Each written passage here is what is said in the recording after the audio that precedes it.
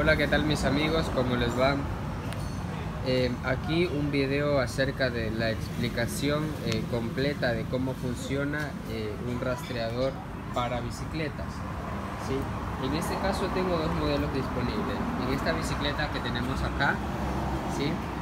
hemos hecho una, la instalación de este rastreador que es a forma de un stock. ¿sí? El modelo es de un stock cualquiera que podría desconocer acerca de esto pues pensaría que es un foco. Claro que tiene las funciones con luces pero internamente el equipo es un GPS hay otro modelo de rastreador que tengo que se coloca en la parte de aquí. Sí pero es necesario hacer una pequeña instalación.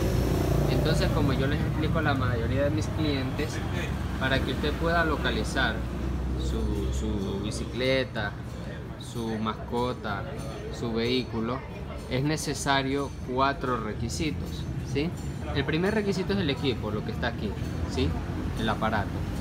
El segundo requisito es la instalación, que como podemos ver aquí es una instalación muy simple que lo puede hacer cualquiera. La instalación del equipo que va acá es un poquito más compleja. En el caso de vehículos la instalación es mucho más completa, más compleja y ya genera un valor adicional. ¿sí? El tercer requisito es el chip que lleva el rastreador. ¿sí? Aquí en esta parte de acá el equipo lleva un chip. ¿sí?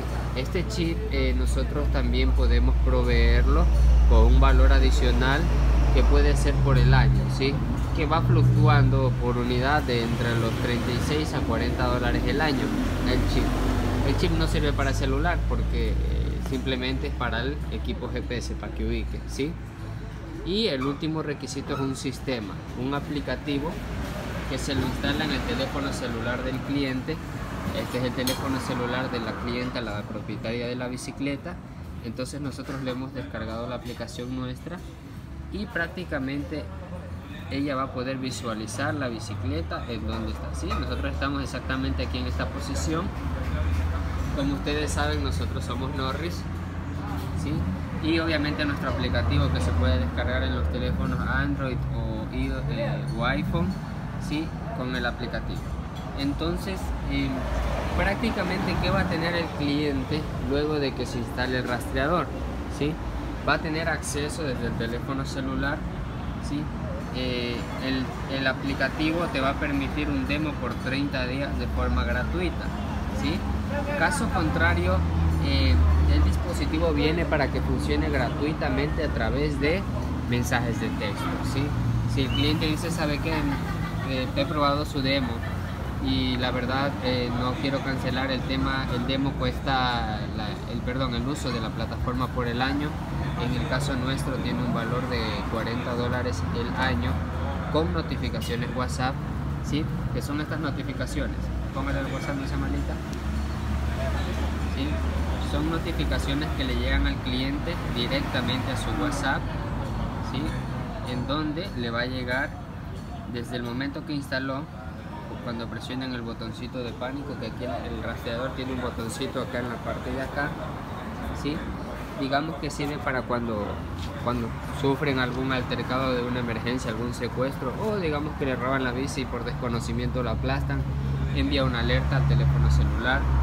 También cuando nuestra plataforma también genera alertas inteligentes, ¿sí? que le dice al cliente que ha recorrido eh, tantos kilómetros para que motive el tema de, usar la bici. Eh, también le notifica cuando se detiene, cuando se empiece a mover, ¿sí? todo eso le llegan las alertas al cliente al WhatsApp. ¿sí? Este sistema tiene un valor de 40 dólares el año con notificaciones WhatsApp y si no 30 dólares el año sin las notificaciones WhatsApp. ¿sí? O caso contrario, si el cliente quiere, pues obviamente lo trabajamos a través de mensajes de texto, que es un poquito más básico, ¿sí? Bastante básico, en donde, por ejemplo, yo le proveo el número del chip que se le coloca acá al rastreador y el cliente envía mensajes de texto, ¿sí? Entonces, el cliente va a recibir así, por ejemplo, estas son alertas de pánico que ha presionado. Esas son pruebas que hicimos que también llegan por mensaje, pero cuando el cliente quiera localizar, yo le voy a facilitar un código acá. Él envía el código y le responde el dispositivo con un link muy parecido a este, ¿sí? Él solo pincha aquí y le abre el Google Maps, ¿sí? Con la ubicación de dónde está la bicicleta, ¿sí? Le va a cargar, está esperando que cargue. Entonces, en el momento que se presiona el botón de pánico fue en ese punto, ¿sí? Ahí uno va viendo. La desventaja que tienes es que, por ejemplo, si ves si la bicicleta se está moviendo no vas a poder saber por dónde se está moviendo porque cada vez que pidas la ubicación te va a responder eh, en dónde está en ese instante tampoco vas a tener historiales de recorrido por donde anduvo o notificaciones y cada mensaje que envíe el dispositivo va a ser descontado de la recarga que se le coloca acá al chip ¿sí? y va a ser un poquito más costoso que por ejemplo eh, adquirir el chip con el plan para que el rastreador funcione con la plataforma ¿sí? la plataforma es mucho más completa porque por ejemplo no solo el cliente va a poder ver en vivo el movimiento del vehículo sino también va a poder generar historiales de por dónde ha recorrido por ejemplo ahorita ya se le explicó a la clienta de cómo genera un historial la instalación del dispositivo se le hizo el día de ayer ¿sí? Vamos a ver qué recorrido ha hecho. Hágale no sea malita. El historial se genera dándole clic a la hojita de reportes. Presiónale nuevamente. ¿sí? Y seleccionando el reporte de ruta.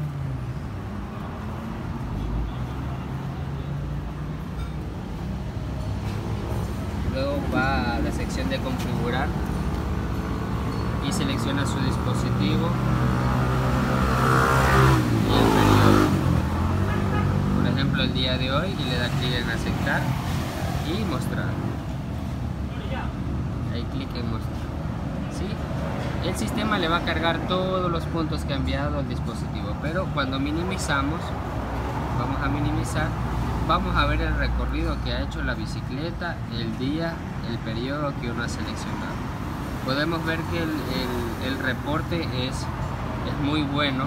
Prácticamente está reportando casi cada 30 o 60 segundos. Y el dispositivo ahorra energía porque como podemos ver en el sistema le, está saliendo en rojito. Hace rato le salía en verde porque el dispositivo se pone en modo descanso para ahorrar más batería el dispositivo se instaló ayer más o menos a las ¿qué será? a las ábrale aquí en esa malita eh, a las 3, 4 de la tarde. Ahora eh, son las 2. ¿Usted le puso a cargar? Sí. Eh, hoy día amaneció y ya le, soltó y le volvió a poner el dispositivo. ¿A qué hora? De mañana. De mañana lo apagué tipo 8. A las 8 ya lo colocó. Ya, entonces de 8 de la mañana hasta ahorita a las, a las 2 de la tarde prácticamente solo ha disminuido el 10% de la carga. Estamos hablando que el dispositivo va a durar en promedio de unos 2 a 3 días con la carga. ¿sí? Todo será bajo la prueba. También tenemos el otro que va colocado acá, pero eh, el de aquí es el que tiene el modo ahorro. Entonces, eso es prácticamente el video que me piden muchos clientes de saber cuál es el funcionamiento y qué es lo que van a obtener. ¿sí?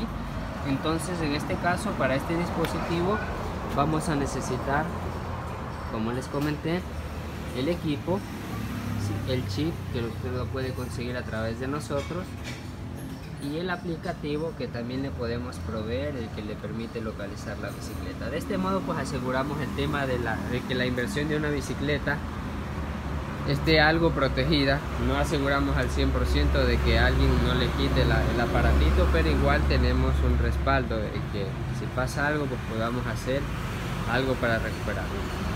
Muchas gracias y cualquier cuestión pues estoy a la orden